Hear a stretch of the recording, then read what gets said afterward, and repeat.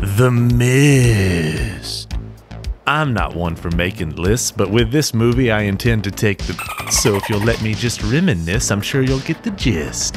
I'm Cringe Conrad, and this is The Mist, where a poisonous gas cloud Poisonous gas cloud. turns out to be a fog full of aliens. The movie begins with some guy painting some stuff that I'm too dumb to know about. Except, wait, that's the thing.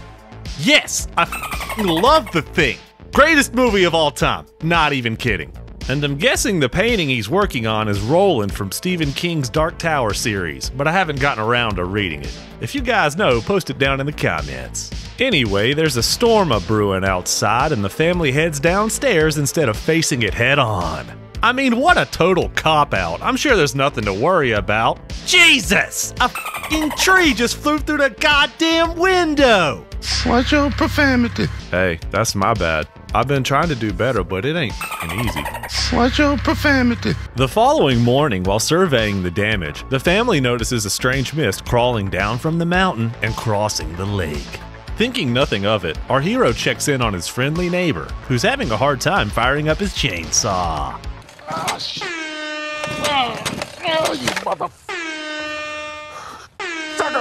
At this point, we learn the hero's name is David Drayton, as he heads into town with his son and the neighbor to grab some supplies. On the way in, they notice some military goofs hauling serious ass, and it almost seems as if something's gone horribly wrong.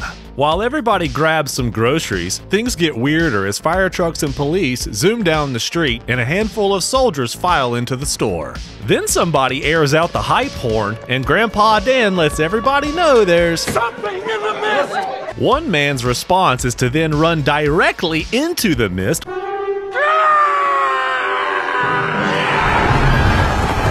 while fumbling around with his car keys long enough to start squealing like he's experiencing a substantial amount of discomfort. So, wait a second. What exactly is this? Is it really mist? Is there really something in it? Could be a poisonous gas cloud. Poisonous gas cloud. Poisonous gas cloud. I don't think you're right, but I could be wrong. Does anyone else think it's a poisonous gas cloud? Oh, all right. Well, well, let's not get ahead of ourselves. All right, now just calm down. I said, calm down. Damn it! Wait, don't go out there. Oh shit! Is it poisonous? Is it a poisonous gas cloud? Report back when you can. Well, sh- we're in the thick of it now, fellas. Anybody got any ideas? What about you? You got any ideas? Wait, why are you shaking so much? My nerves are jangled, I guess. Oh, your nerves are jangled? Well, why didn't you say so? Don't worry about us, you just concentrate on the jangling.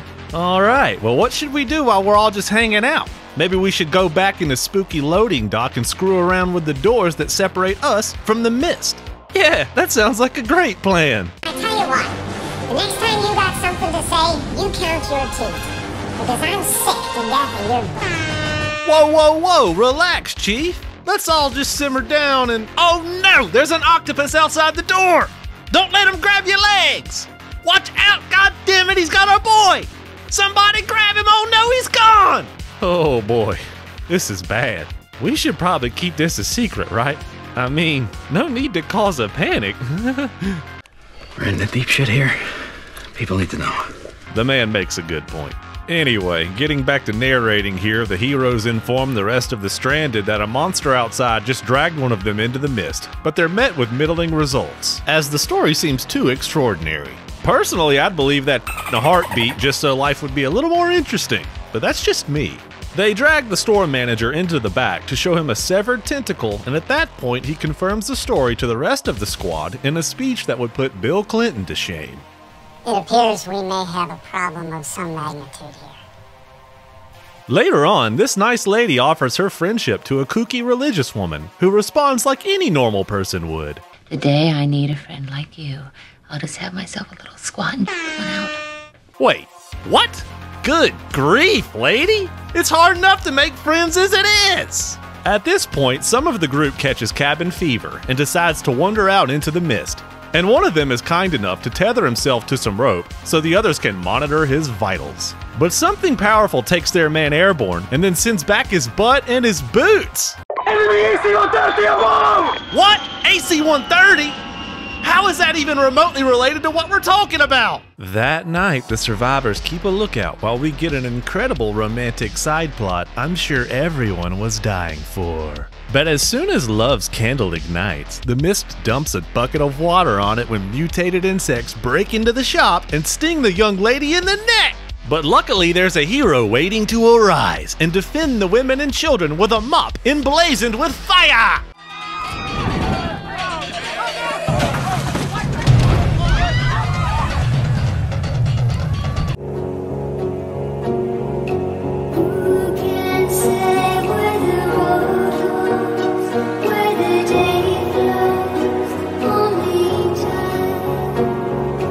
Because of the unsung hero's failure, the group now has to find drugs to help numb his pain. So they plan for a trip to a nearby pharmacy.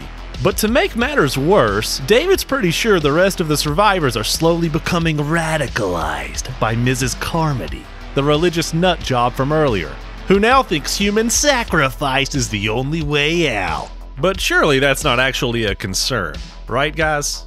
As a species, we're fundamentally insane. Why do you think we invented politics and religion? Shots fired! Shots fired! Cringe Conrad is not touching that with a 10 foot pole. So the guys make it to the pharmacy where they grab the goods and encounter some mutated spiders. And I'm not really a big fan of spiders, so we're gonna pretend this never happened. When the squad gets back, they walk in on Sunday service with Mrs. Carmody enlightening the masses. And even if you're not religious, you know, I'm sure you can see the good in what she's doing. It's a, it's a cool thing, you know, it's a tough situation, and uh, Welcome to Sesame Street. hey, come on, man. Who said that? Who the fuck said that? Fuck it. You know what? If you don't believe, you can get out! The voice of God then tells the crazy lady the military is responsible for the hell that's been brought down upon them. And the lone soldier admits that scientists in their mountain base opened a portal to another dimension that they currently cannot close. The revelation triggers the raging prophet, who blasts into a tirade about God knows what while everyone beholds her majesty.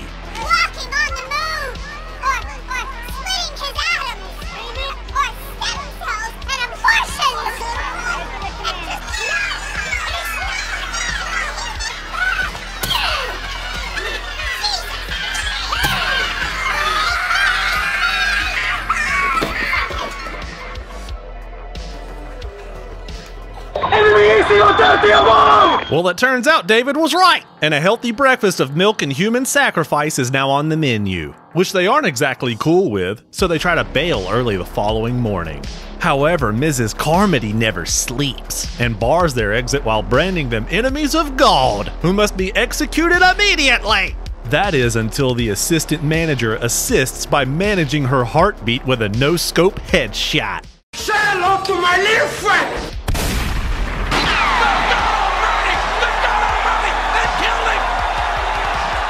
The remaining good guys then make it to the car, which has a comical number of lights, and they accompany David to his house where he confirms his wife is Dunzo. Next, they head south out of town, where the never ending mist produces a mega beast that cracks their will to live.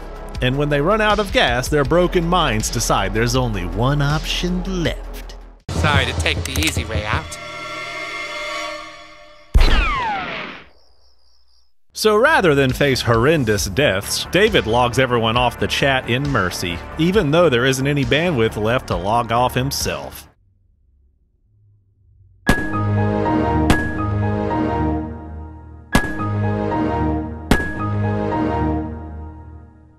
And then, in literally the most savage ending of all time, it turns out the military has regained control of the situation as the mist disappears and soldiers kill the remaining monsters that were released from the base, causing David to go weak at the knees and eternally contemplate what if I had just waited five more minutes? And that about does it. The Mist was one of my favorites as a kid for its nightmarish premise and sense of isolation. But strangely, as an adult, I'm not sure it holds up. Some of the themes are a little too ham fisted, and the characters are pretty much cartoons. But overall, it's a gem of the genre that can turn any late night into a proper creep fest. Anyway, guys, I'm Cringe Conrad, and if you want to see some more highlights, don't forget to like, comment, and subscribe below.